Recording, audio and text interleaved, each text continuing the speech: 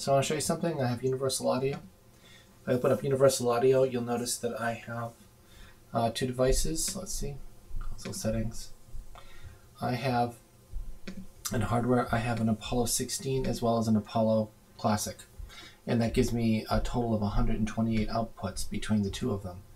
Um, so the problem is, is that um, because of that, the 128 outputs, I cannot use it in Pro Tools. Pro Tools restricts 32 in and out. So I have two I.O. presets, one called Studio One, which is the software Studio One, and one called Pro Tools, and I've named it after myself, Tony. But if you notice, with um, all of the outputs enabled, I literally have, you know, these are on these are offline, but I have on the right, I have 64 outputs and I have 58 inputs. That's too many for Pro Tools. So what I have to do is literally decide what I want to keep.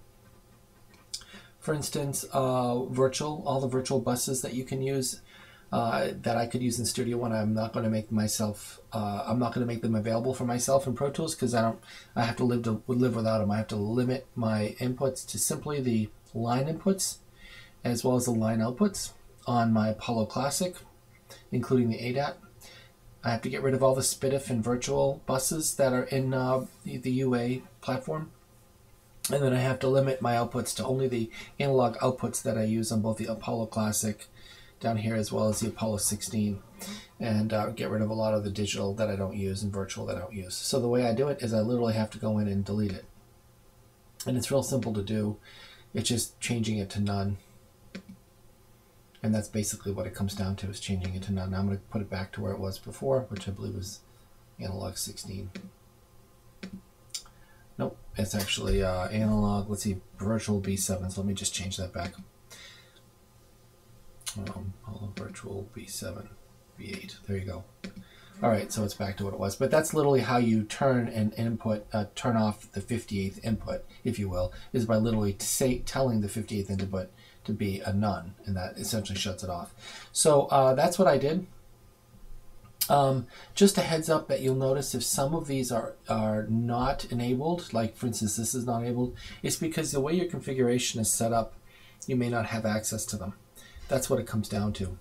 Uh, here's a good example, just to show you, demonstrate. If you notice that line 3 and 4 are available for me right now. So let me go ahead and if I was to simply hijack the routing of the software to say, for instance, take uh, the first desktop. I, I call it mic 1 desktop mic.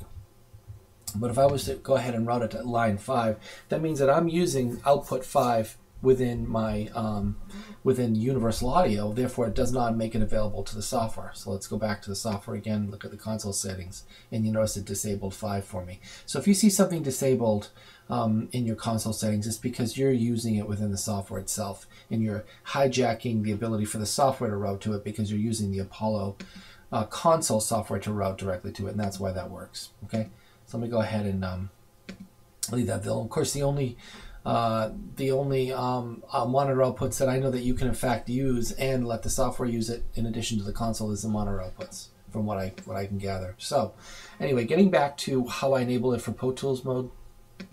Um, if you notice, the problem will be if I start Pro Tools. Um, what it's going to tell me is because I have 53 outputs or whatever I mentioned before, it's not going to want to run the software. And in fact, I am using the latest version of 11.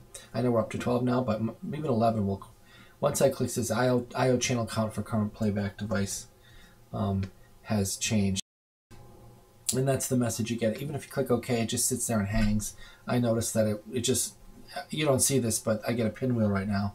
And I'm forced to literally just um, quit it. Oh, it stopped by itself this time. Often it doesn't stop, but I, I didn't I never even did it quit. It, it quit on its own. So just a heads up, that's the problem. So how do you fix this? Simple, I go to my console settings, and then I'm gonna go ahead and change it to my Pro Tools 11, and I'm gonna click the load button. And I've already done this before, but you can kind of see that I've selected which 32 uh, inputs and 32 outputs. In fact, I only use 24 outputs in my setup. Um, and that's how I do it. Now, if I try to start Pro Tools, it's not going to give me that message anymore. Let me go ahead and close this out. But you, it will load successfully and give me the classic uh, and Pro Tools is running, and my playback engine is set to Universal Audio. So that's in a nutshell. That's how you deal with this problem. I hope that helps somebody out there in this world.